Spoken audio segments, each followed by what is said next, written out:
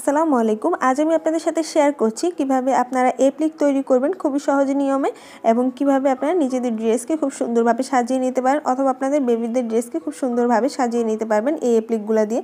আশা করছি ইনশাল্লাহ আজকে ভিডিওটা আপনাদের কাছে ভালো লাগবে। তো ভিডিও শুরুর আগে একটি রিকোয়েস্ট করছি, যারা আমার চ্যানেল একেবারে নতুন এখনও সাবস্ক্রাইব করেনি প্লিজ সাবস্ক্রাইব করে রাখবেন এবং পাশে থাকা ছোট্ট বেল আইকনটি ক্লিক করে রাখতে ভুলবেন না। তো এখানে এই যে দেখতে পাচ্ছেন, এখানে হচ্ছে আমি একটি বেবি টপস নিয়েছি। তো এখানে আমি এপ্লিক করে নিয়েছি, খুব সুন্দরভাবে ডিজাইন করে নিয়েছি। তো এখন এই নিয়মে আমি আপনাদেরকে একটি তৈরি করে দেখাবো। তো সেজন্য এখানে হচ্ছে আমি গ্লু নিয়েছি, আর হচ্ছে আমি কাপড় নিয়ে নিয়েছি। আর এটা কাটার জন্য হচ্ছে একটা কাটার লাগবে। আপনারা চাইলে কাছি দিয়েও করতে পারেন। তো এরপর আমি এখান থেকে এক টুকরো কাপড় নিয়ে নিয়েছি। তো এই কাপড়টা আমি এখন মেপে দেখাচ্ছি। এখানে হচ্ছে তিন ইঞ্চি হচ্ছে লম্বা এবং চড়ও তিন ইঞ্চি। মানে এর দৈর্ঘ্য এবং পোস্ত একই রকম নিতে হবে। সেটা যাই নেন আপনারা, আড়াই ইঞ্চি নেন, দুই ইঞ্চি নিয়েও করতে পারেন। ছোটো ছোট যদি সাইজ করতে চান, সেক্ষেত্রে দুই ইঞ্চি নিয়েও করতে পারেন। তবে সব দিকে একই একই রকম রাখতে হবে। তো এরপর হচ্ছে আমি ঠিক এইভাবে ভাজ করে নিচ্ছি। আপনারা ভাজটা খেয়াল রাখবেন। আমি কীভাবে ভাজ করেছি, ঠিক এইভাবে দুই ভাজ করে নিয়েছি। আবারও আমি দেখিয়ে দিচ্ছি, ঠিক এইভাবে দুইটা ভাজ করে নিচ্ছি। নেওয়ার পর এরপর আবার মাঝখান থেকে আরেকটা ভাজ দিয়ে নিচ্ছি। ঠিক এই কোনাটা ধরে নিয়ে এভাবে আরেকটা ভাজ দিয়ে নিচ্ছি। তো ভালোভাবে ভাজটা করে নিতে হবে। তো আপনারা যতগুলো এপ্লিক করবেন, একই নিয়মে ভাজ করে নেবেন। অথবা যে সাইজই করে না কেন, ছোট অথবা বড় সাইজ এখন আমি এটাকে আবার মাঝখান থেকে আরেকটা ভাজ দিয়ে নিচ্ছি। একটু ভালোভাবে আপনারা খেয়াল করলে বুঝতে পারবেন, আর এটা তৈরি করা কিন্তু খুবই সহজ।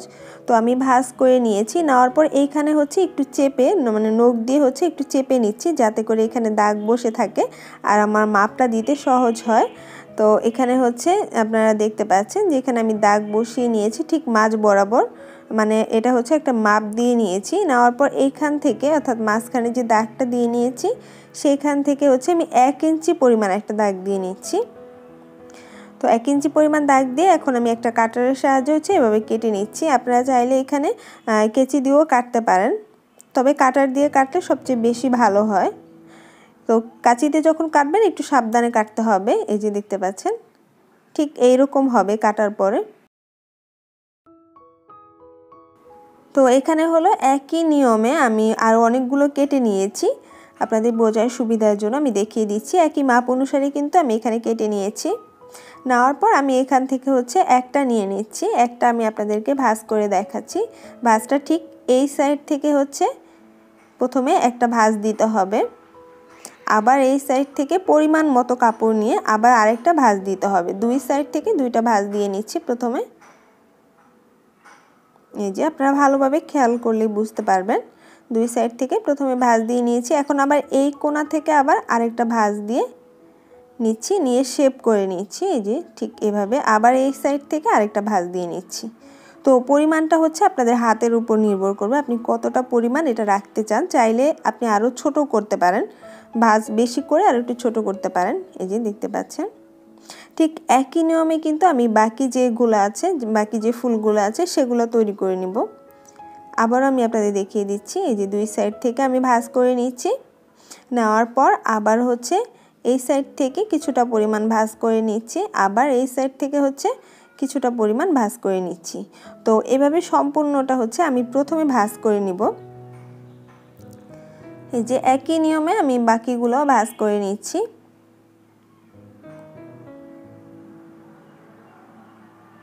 তো এই যে দুই সাইড থেকে আমি প্রথমে কাপড়টা ভাজ করেছি, তারপর আবারও দুই সাইড থেকে ভাজ করে নিয়েছি। তো আমি বারবার বলছি আপনাদের বোঝার সুবিধার জন্য।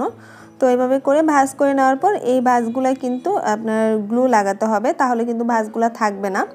তো সাধারণত কিন্তু অ্যাপ্লিক করাটা অনেকটা কষ্টকর, কিন্তু এই পদ্ধতি যদি আপনারা ফলো করেন, তাহলে ইনশাল্লাহ খুব সহজে আপনারা অ্যাপ্লিক করতে পারবেন। তো এখানে হচ্ছে আমি যেই সাইডটা ভাজ করে নিয়েছি, সেখানে হচ্ছে ভাজ বরাবর আমি আঠা লাগিয়ে নিচ্ছি। ভাজ বরাবর হচ্ছে এখানে এই যে গ্লুটা লাগিয়ে নিয়েছি। নেওয়ার পর আবার আমি হালকা করে এখানে ভাজ দিয়ে নিচ্ছি। আপনারা চাইলে এখানে কটন বারও ইউজ করতে পারেন যাতে করে আপনাদের হাতে লেগে না যায়। তো এইভাবে করে আবার এই সাইডটাও আমি ভাজ অনুসারে আঠা লাগিয়ে নিয়েছি। এরপর হচ্ছে আবার এই সাইডও আমি একইভাবে এখানে লাগিয়ে নিব এবং ভাজগুলো হচ্ছে আমি সুন্দরভাবে করে নিব।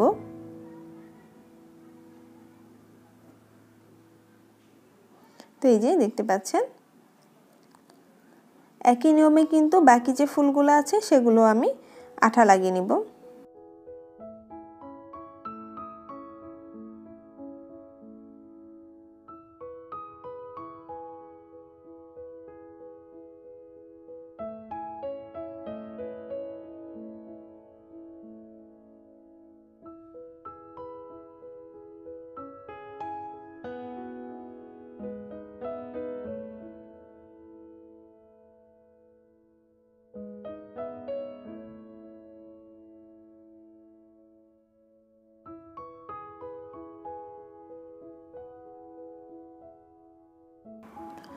তো এই যে দেখতে পাচ্ছেন, আমি খুবই সুন্দরভাবে কিন্তু তৈরি করে ফেলেছি। এখন কিন্তু খুবই সুন্দর লাগছে।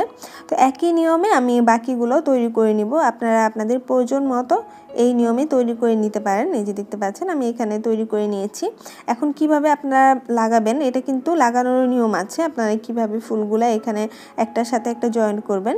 তো আমি প্রথম পদ্ধতিতে দেখিয়ে দিয়েছি। আবার আপনারা এভাবেও জয়েন্ট করতে পারেন লম্বা লম্বি করে। এরপর হচ্ছে এভাবে আপনারা আড়াআড়ি করেও জয়েন করে নিতে পারেন। এভাবে কোনাকুনি করে এভাবেও কিন্তু দেখতে সুন্দর লাগবে। তো আপনাদের ইচ্ছে মতো আপনারা যেভাবে ভালো লাগে ঠিক সেভাবে এই ফুলগুলো আপনারা সেট করতে পারেন। এরপর আমি এখান থেকে হচ্ছে একটা ফুল আপনাদের লাগিয়ে দেখাচ্ছি। তো এই জন্য আমি এখান থেকে হচ্ছে একটা নিয়ে নিচ্ছি। নেওয়ার পর আমি ঠিক এই জায়গাটা হচ্ছে এই ফুলটা লাগাবো। সেই জন্য হচ্ছে আমি এখানে প্রথমে গ্লু লাগিয়ে নিচ্ছি সামান্য পরিমাণ। নেওয়ার পর এটা ঠিক মাঝখানে হচ্ছে আমি বসিয়ে নিচ্ছি। ঠিক মাঝ বরাবর ভালোভাবে বসিয়ে নিয়েছি।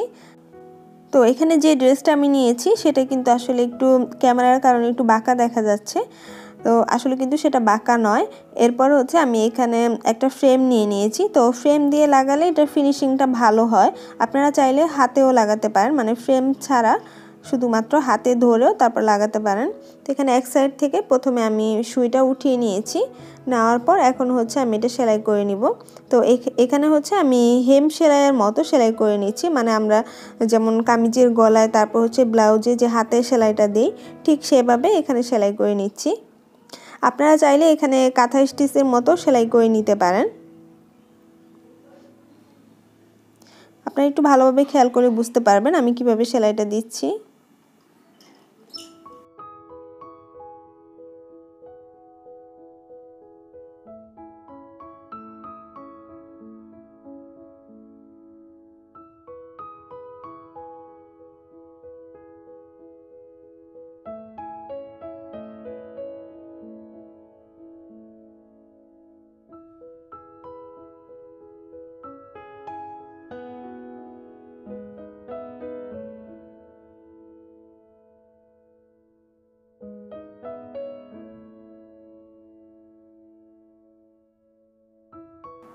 একই নিয়মে আমি পুরোটাতে হচ্ছে হাতের সেলাইটা দিয়ে নিচ্ছি। তো আপনারা যারা সেলাই কাজে একেবারে নতুন অথবা নতুন করে সেলাই কাজ শিখতে চান, তাদের জন্য আমি আলাদা চ্যানেল ক্রিয়েট করেছি। আপনারা চাইলে সেই চ্যানেলে ঘুরে আসতে পারেন। আমি হচ্ছে ফার্স্ট কমেন্টে সেই লিঙ্কটা দিয়ে দিব সেই চ্যানেলের, অথবা ডিসক্রিপশন বক্স চেক করলে আপনারা পেয়ে যাবেন।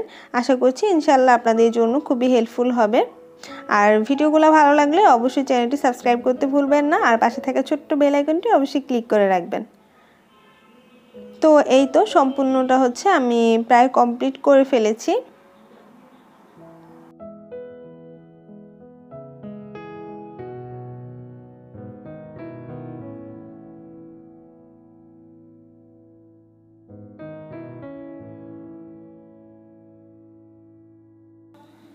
আমি আমার প্রত্যেকটি ভিডিওতে আপনাদেরকে খুবই সহজভাবে বোঝানোর চেষ্টা করি। আশা করি ইনশাল্লাহ আপনারা খুব সহজভাবে বুঝতে পারেন। তারপর যদি কোথাও সমস্যা থাকে, অবশ্যই আমাকে কমেন্ট করে জানাবেন অথবা আমার ফেসবুক পেজেও আপনারা মেসেজ করতে পারেন।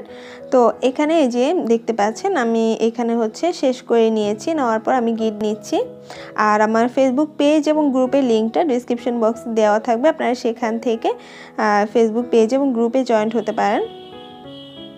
তো এখানে সম্পূর্ণটা কিন্তু আমি কমপ্লিট করে ফেলেছি। এখন হচ্ছে এর মাঝখানে যদি আমি একটি পুঁথি লাগাই, তাহলে কিন্তু দেখতে আরও বেশি সুন্দর লাগবে। তো সেই জন্য আমি এখানে হচ্ছে পারল পুঁথি নিয়ে নিয়েছি। প্রথমে আমি সম্পূর্ণটাতে হচ্ছে, সম্পূর্ণ ফুলগুলোতে আমি প্রথমে গ্রু লাগিয়ে নিচ্ছি। এরপর আমি একটা একটা করে এখানে হচ্ছে পুঁথিগুলো লাগিয়ে নিব।